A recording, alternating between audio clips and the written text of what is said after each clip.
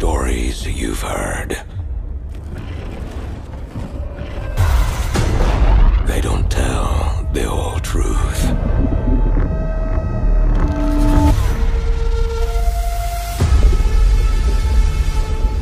The island is indeed a place of legend.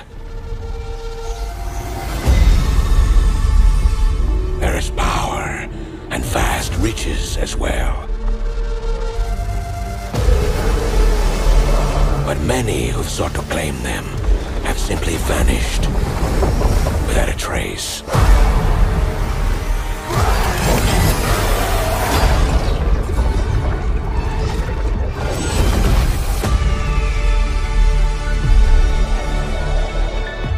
Your ship is stocked and your crew assembled.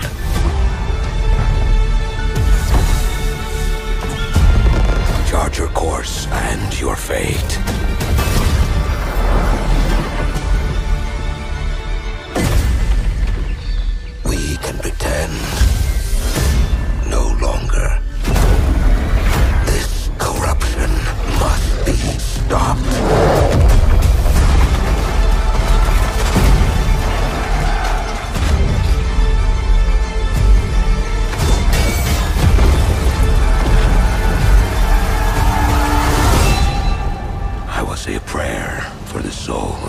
Crew.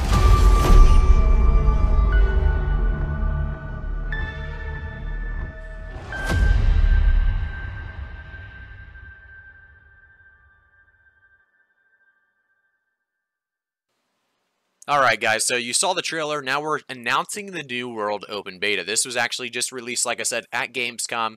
They had this big announcement of an open beta. So open beta will actually begin on September 9th at 7 a.m. PT and continue until September 12th at 11.59 p.m. PT. Interested players will be able to request access beginning on September 8th at 7 a.m. PT, so definitely take advantage. We're not going to read, I'm not going to read all through all this, but you definitely can do so yourselves, um, just because I want to keep this video short and sweet. Open beta announced, obviously a cool trailer for Gamescom.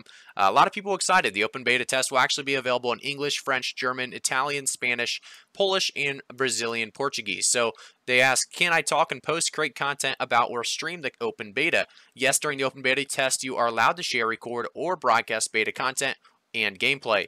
Is the open beta server capacity indicative of launch server? So open beta is an important test for our server infrastructure and will feature a higher server capacity than the closed beta, but will not represent the full server capacity available at launch. Players may experience queue times during the open beta test. Will my open beta progress will be carried over to launch? Obviously no, their progress will be wiped between open beta and launch. What has changed in the new world between closed beta and open beta? Patch notes will be available on the official forums. Will I need to download a new version of the new world? Yes, you will need to request access to the open beta client through the Steam playtest tool, uh, Steam playtest tool actually, on the New World Steam page, which is very easy to do. I will have links to the New World Steam page. Also, I will have links, guys, to this article here in the comment section down below, or really in the uh, description down below as well. So we also had the Gamescom opening night live, which featured this uh, this skin right here that you were actually able to uh, acquire if you guys watch for 15 minutes of the broadcast. So just cool things to really talk about today. Obviously, open beta going to be a big deal. A lot of you guys, I'm sure, are very excited about this. Uh, we wanted to kind of give you guys just a quick update. So we'll talk about the patch notes here in a very, very soon to uh, be released video.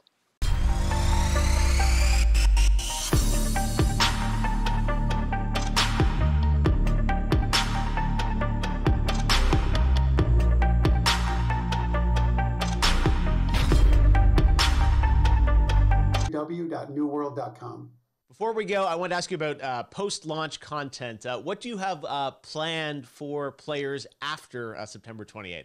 Well, we are completely committed to making Aeternum a living, breathing world that players will come back to again and again for years to come. So for us, launch is really the beginning. It's day one. We're going to continue to add features well beyond launch, and we're going to continue engaging with the players to help drive our goals and where we take the game. I can't get specific on what we're talking about, but I can give you some hints. Um, players have already been asking for more supernatural elements and more weapons. So we got a pretty cool way to combine those into a deliverable that they'll see shortly after launch. And then players have been asking for more group content and expeditions, so we're working toward that as well. And then, you know, with the holidays right around the corner, I'm pretty excited to see what that might look like on Aeternum. All right. Thanks so much for joining us, Scott. Thanks, John.